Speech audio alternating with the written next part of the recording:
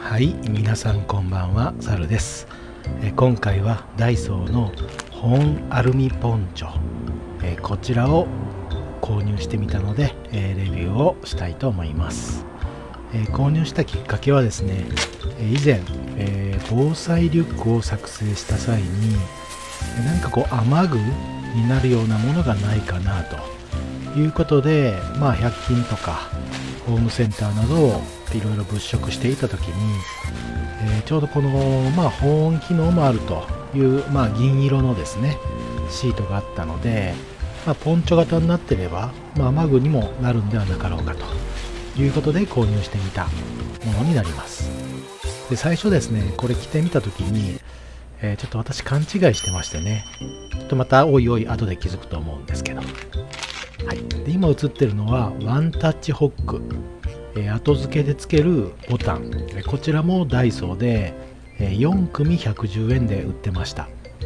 はい。え、ボタンが必要だなと思ったのは先ほどあの着てる時にですねちょっと気づいた方もいらっしゃるかもしれませんがどうしてもですねあのひらひらと1枚のシート状ですので、まあ、風で煽られたり、えー、して何かこう作業しようと思うとですねえー、きちんとこう体を覆ってくれなかったので、まあ、せめて腕を通すような場所が欲しいなと思ってこのボタンをつけることにしました。今映ってるように、まあ、3種類のボタンがあってですね、えー、オスとメスと、あのー、背中の部分ですね。はい、はい。えーと、こちらが、えーと、メス側ですね。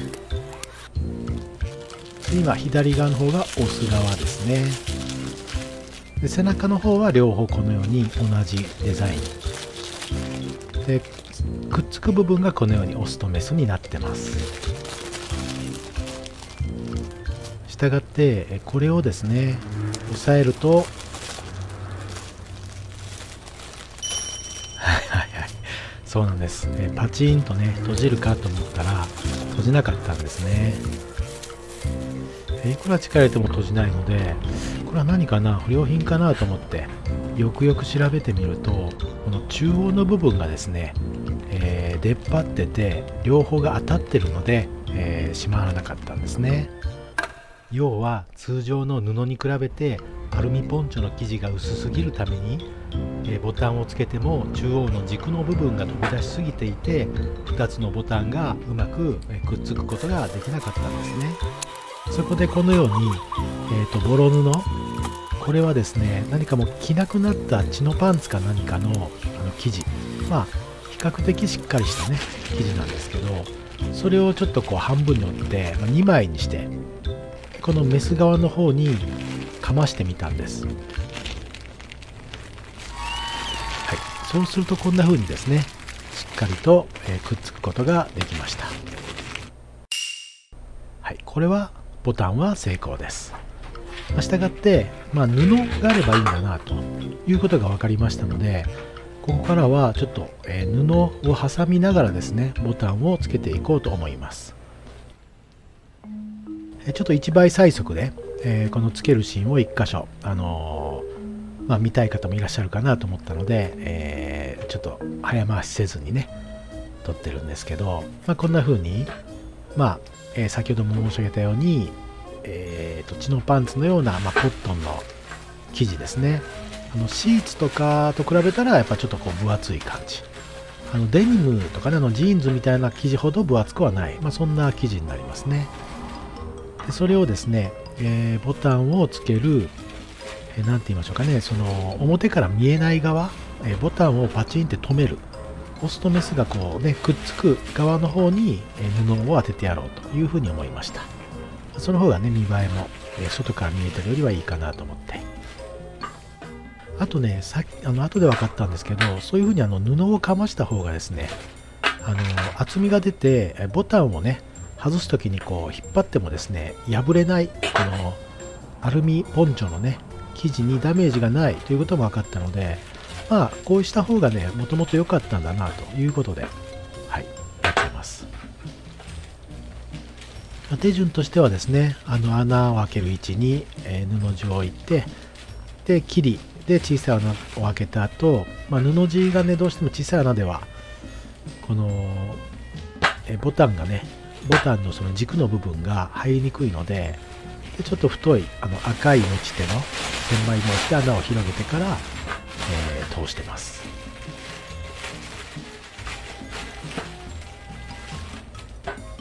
はい、えー、最初にまあボタンをつける位置を決めて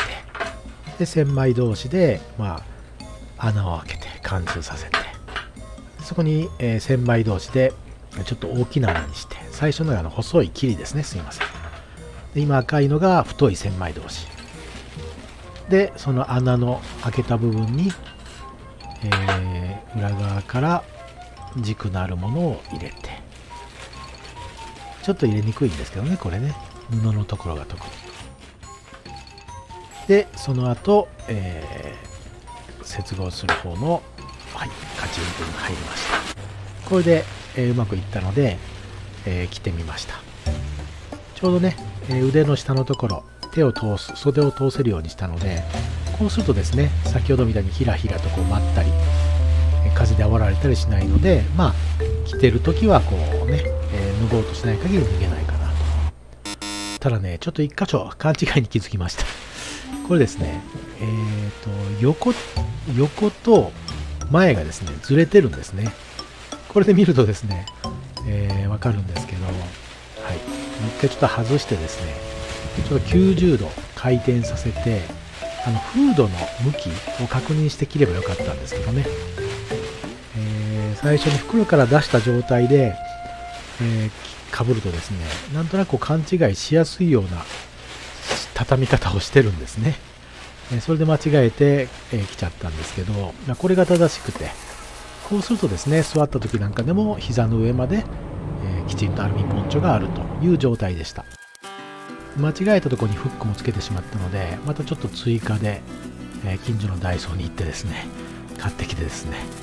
え、またここで、え、4つプラス追加でつけております、